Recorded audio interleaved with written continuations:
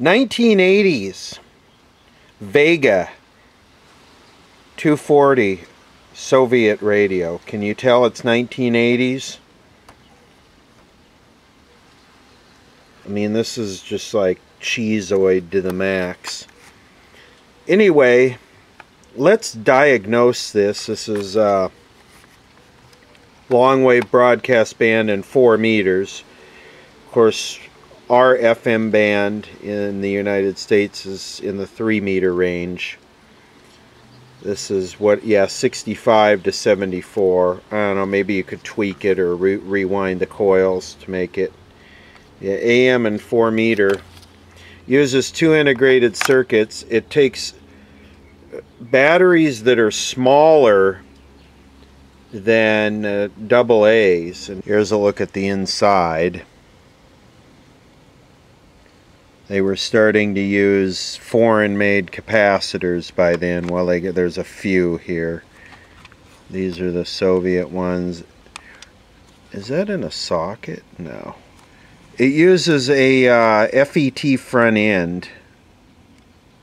Uses two ICs.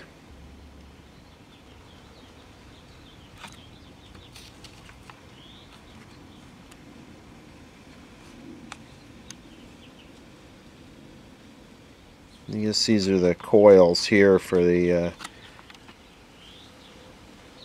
that, that that actually looks like it's is that a is that like a, a permeability squaley sprinkler? Let me see. So when you tune it yeah. When you tune it that rototubulates up so you're adjusting the cores in and out of that thing just like a car radio. How cool. So this this moves these slugs up and down within that.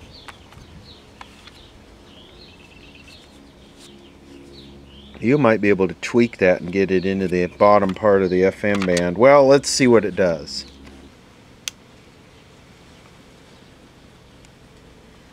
Got a little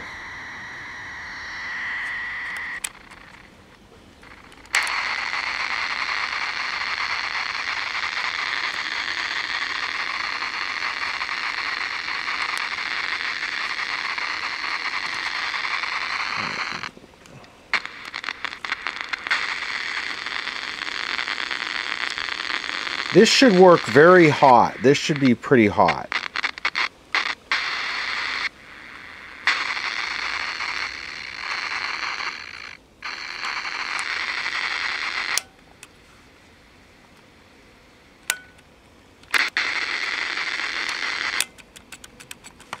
Don't know what I'm going to be able to do with this. I can't get these ICs and that's really all it uses.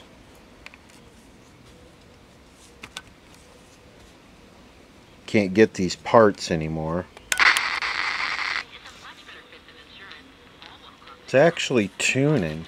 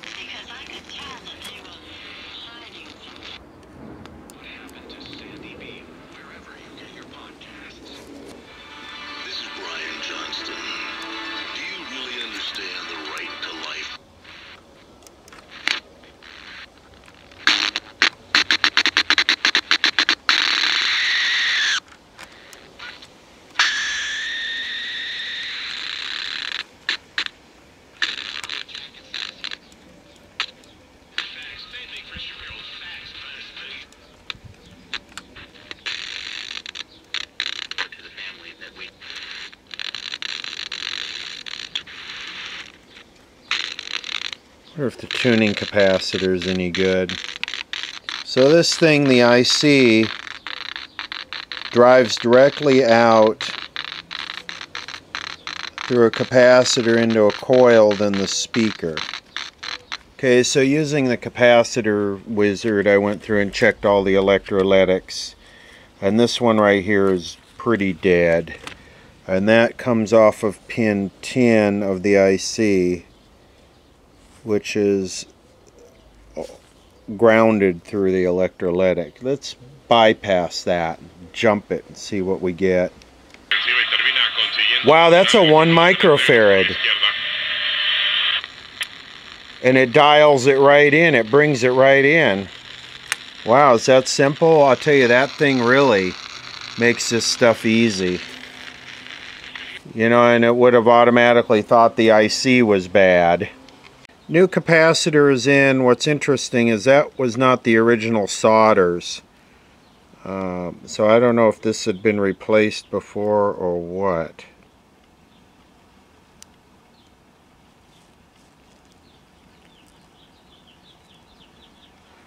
Just looks so primitive the way it's built. So anyway, we should have good tunage now. Let's see.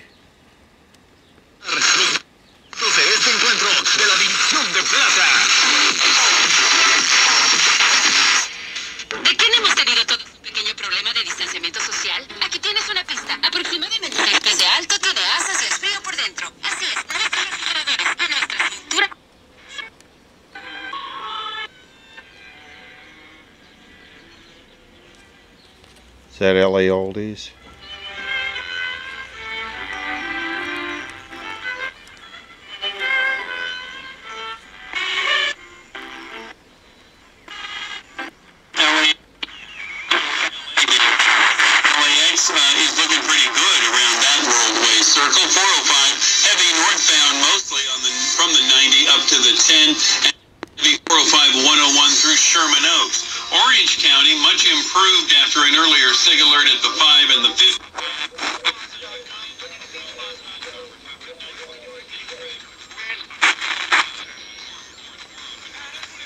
God, this, this thing with this string is impossible to tune.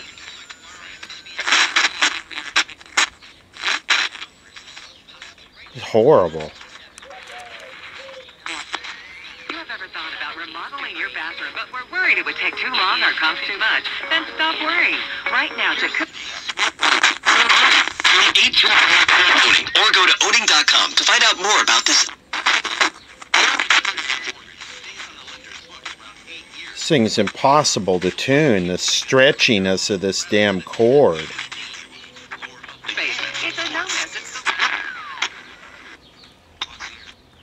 What if you can have the low interest rate of a 10-year loan with the low payment of a 30. Very hard to tune. The hell is this? The hell is this?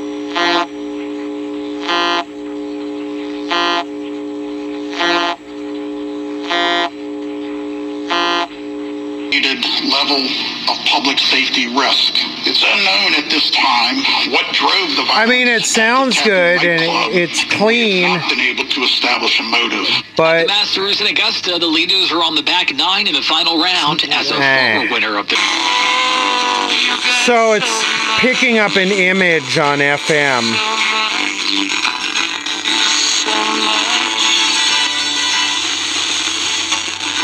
Little Zeppelin.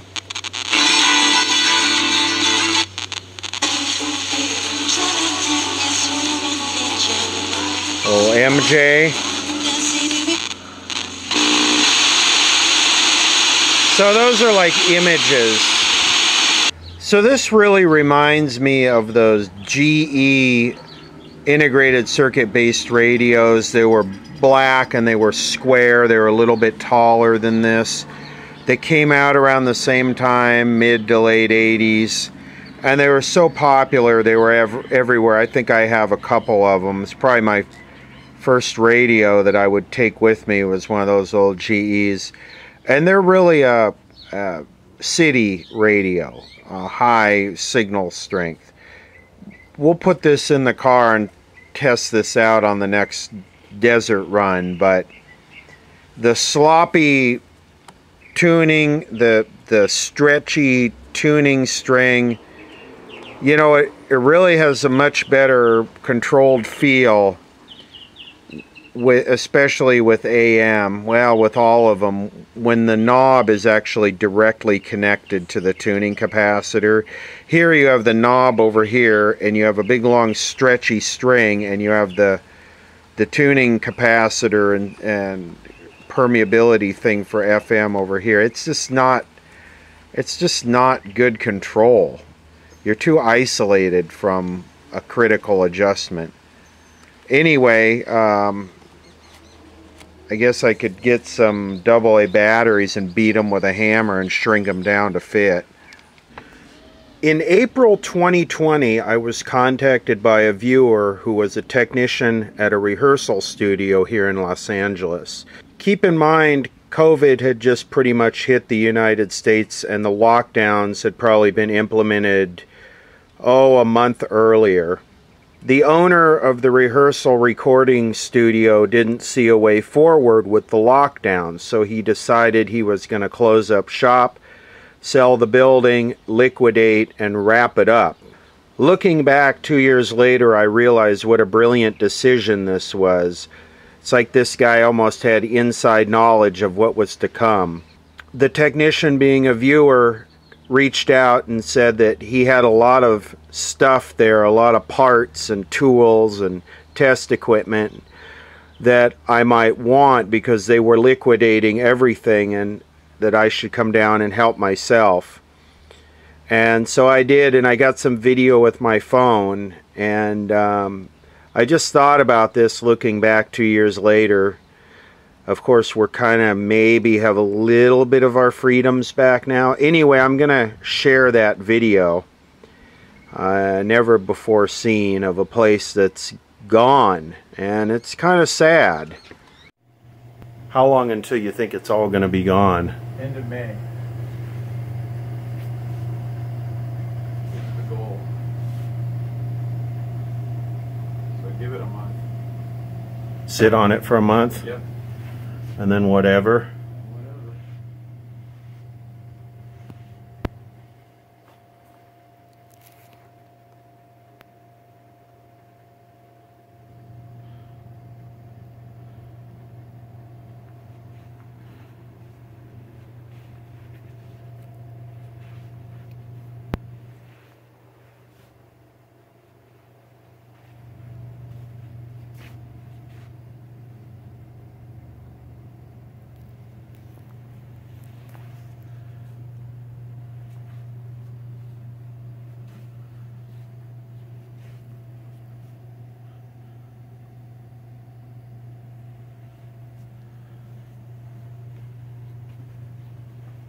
Surprised I haven't taken a truck and broken the front door down to get this out right here.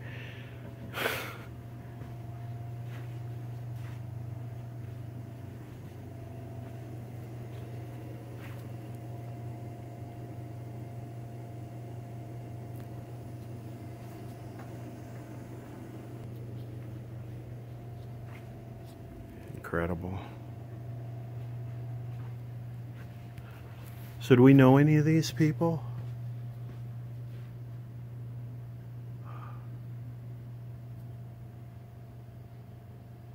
The Platters?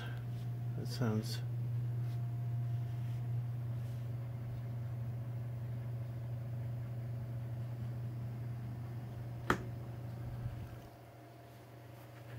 Interesting.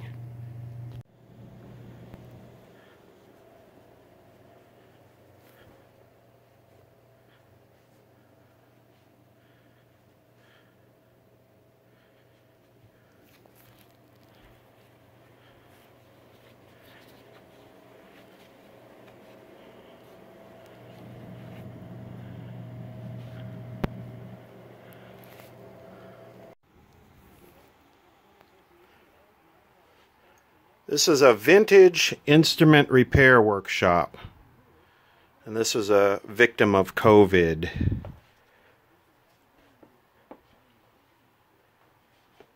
Businesses dropped off and not sure when it will return. Of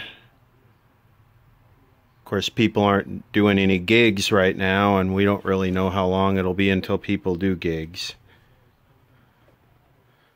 So all of this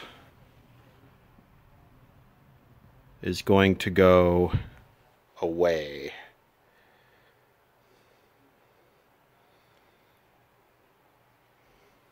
Sorry for the bad video with a little tiny flashlight and a phone.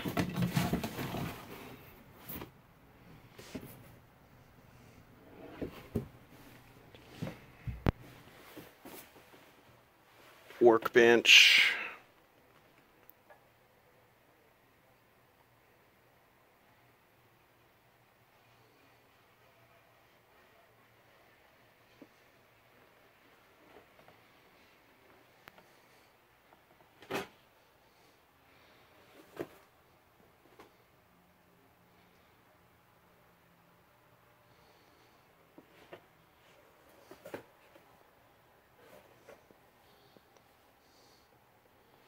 This virus is really reshaping certain elements of uh, operations of certain things. Of course, gigs and shows being one of the big nightclubs, bars, uh, studios, all of that. Concerts, big venues, movies, anything to deal with, you know, entertainment is uh, highly affected by this.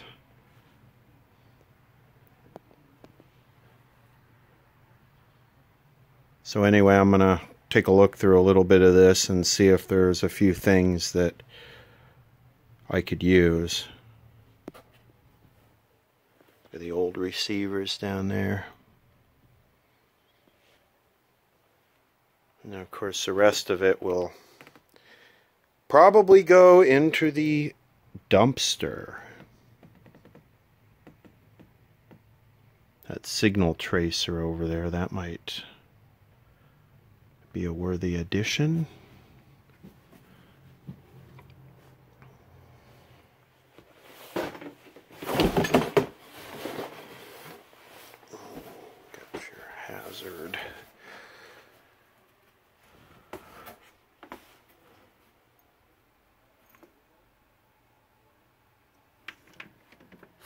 Firestone. Firestone broadcast standard. It's just like an AA5, but it's uh, over here we have a German receiver. Little, I guess that would be a little tube amp. Some more radio chassis, another tube amp looks like.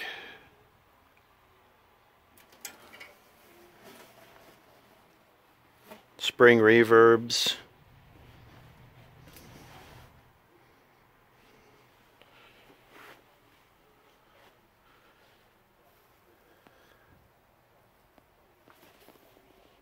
Resistors.